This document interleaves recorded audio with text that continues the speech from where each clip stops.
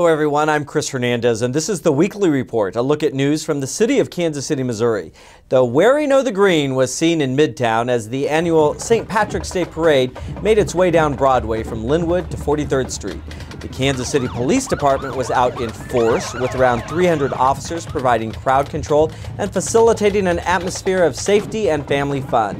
And members of the PD even joined in the festivities by providing their own flash mob for the occasion.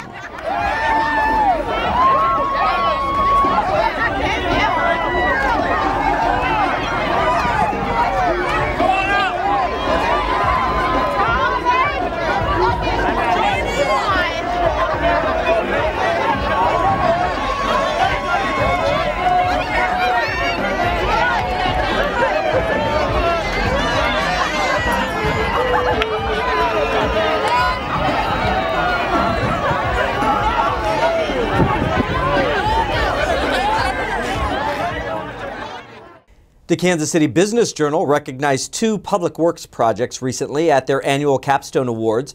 The 135th Street project made improvements to infrastructure between Holmes Road and Oak Street. New sidewalks, new traffic signals, and traffic improvements were installed. The Chouteau Parkway Improvement Project was also recognized for widening the road to four lanes and adding bicycle lanes and walking trails. The 12th Street Bridge celebrated its 100th anniversary on March 18th.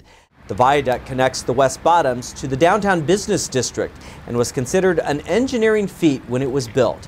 It is one of a handful of double-decker bridges ever constructed in the United States, and it helped propel Kansas City to the forefront of the agricultural economy. Now it's attracting new developments with industrial buildings being converted into apartments as well as artists creating new galleries and workshops. We also are celebrating the fact that new residents are moving in.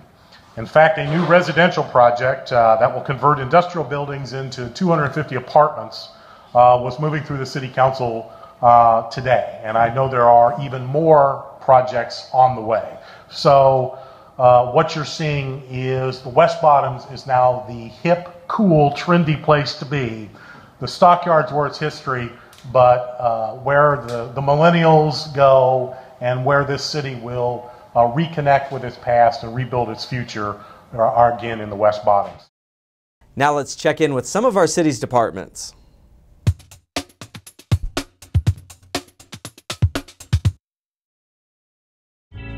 Hi, I'm Heidi Downer with Kansas City, Missouri Parks and Recreation. Join us as we celebrate springtime and warm weather with a variety of spring-related programs and events. KC Parks partners with Spay and Neuter Kansas City for a pet vaccination clinic on Saturday, March 28th from 9:30 a.m. to 12:30 p.m. at Hillcrest Community Center. A variety of vaccination packages are available for a minimal fee. Visit snkc.net for details. Project Blue River Rescue celebrates its 25th year on Saturday, March 28th from 8 a.m. to noon at Lakeside Nature Center in Swope Park. Volunteers of all ages and abilities are needed to help clean up the Blue River. T-shirts, work gloves, tools, and trash bags will be provided. Visit lakesidenaturecenter.org for more information. Bonanza, an Easter event at the Wagon Trail Off Leash Dog Park in North Kansas City, will take place on Saturday, April 4th from 11 a.m. to 1 p.m. The inaugural event features Easter treats and contests for you and your pup. Be sure and bring your camera for pictures with the Easter Bunny. Admission is $5 per dog at the gate. Check out our KC Parks Community Centers for free during Discover Day on Saturday, April 11th. From 9 a.m. to 6 p.m., all 10 KC Parks Community Centers will offer free admission, activities, and a bonus workout towel to participants. Visit kcparks.org for a complete calendar of Discover Day events. A holiday unique to Kansas City, Fountain Day, will be celebrated on Tuesday, April 14th at 11 a.m. On this day, all of Kansas City's public fountains will turn on for the season. This year's Fountain Day festivities will take place at the iconic J.C. Nichols Memorial Fountain on the Country Club Plaza. Join us in celebration as we admire the newly renovated fountain, honor the return of the original fourth dolphin sculpture, and also applaud the repair of the Seville Light Fountain, which is located just across the street. To learn more about these or other events Kansas City, Missouri Parks and Recreation has to offer, visit kcparks.org or give us a call at 816 513 7500.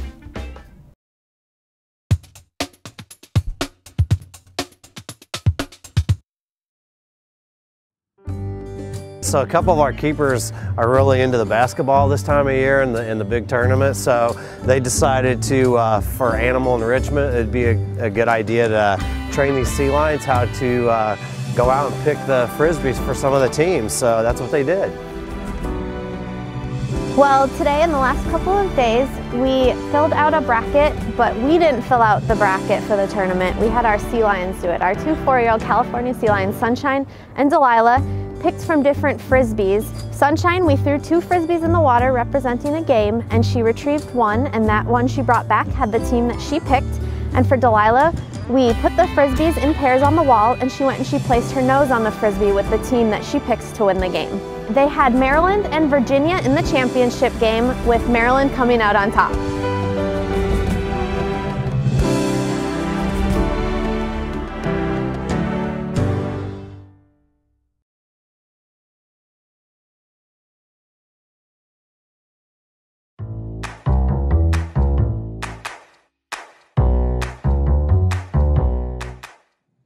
It's as easy as one, two, three. Step one, signal.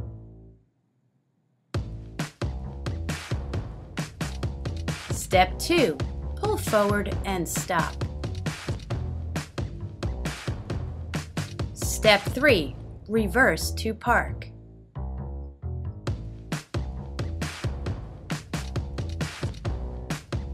Just back it up.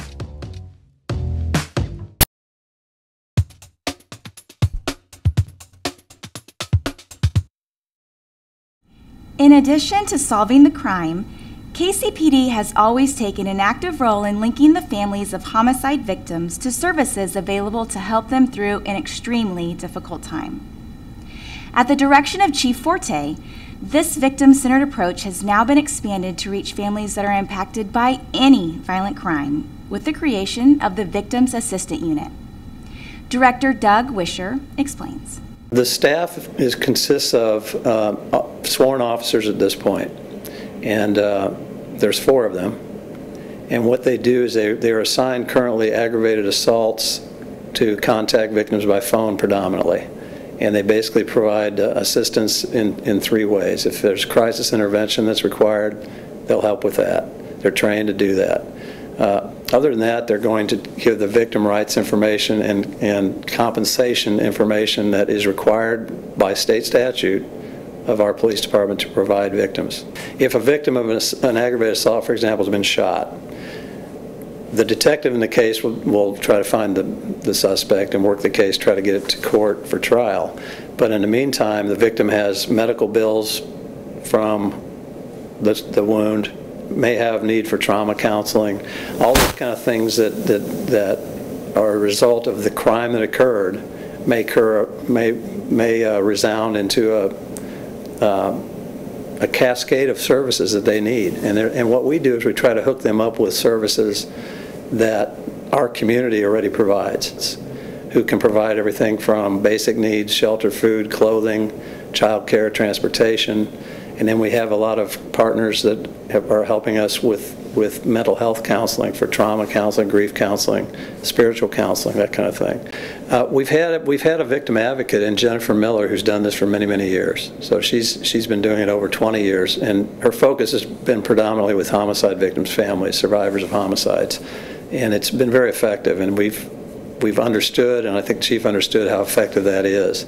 But we really need to expand beyond just homicide victims' families. And having a staff to, to, to be able to do what Jennifer does with additional victims like aggravated assault, robberies, uh, sex crimes, and, and all the violent crimes that are out there um, will really help us be able to touch a lot more people. These victim assistance specialists, they are, although they are police officers and detectives, um, they are really trained to become, uh, in a very real sense, a, an entirely different element that, than we've had in our police department. If you look at Jennifer Miller and see what she does, they're, they're going to mirror what she does.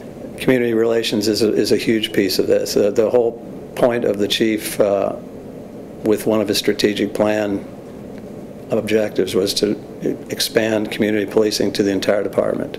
So by doing this in the Investigations Bureau, it's, uh, it's a piece that hasn't been there expanded to the extent that we, we now can do it. And we know it works. It worked with Jennifer Miller, continues to work with her. So we're giving her some additional help. The addition of the Victims Assistant Unit is one more step in KCPD's commitment to positively impact the quality of life for the community we serve. I'm Officer Shelley Gaddis. Have a safe week. Spay Neuter KC will hold a pet vaccination clinic on Saturday, March 28th at the Hillcrest Community Center, which is located at 10401 Hillcrest Road. It'll be from 9:30 a.m. to 12:30 p.m. For just $30, your pet can receive a rabies shot, microchip, and pet license. Services for unaltered pets cost $40. For puppies and kittens under four months of age, a $10 puppy or kitten vaccination or, or wormer will be offered. Spay or neuter vouchers will also be available. For more information about these stories, please log on to kcmo.gov and search for the weekly report. To view this program again or any other Channel 2 production, visit our YouTube channel at youtube.com slash kcmocco. That does it for this edition of the Weekly Report. I'm Chris Hernandez. Have a great week.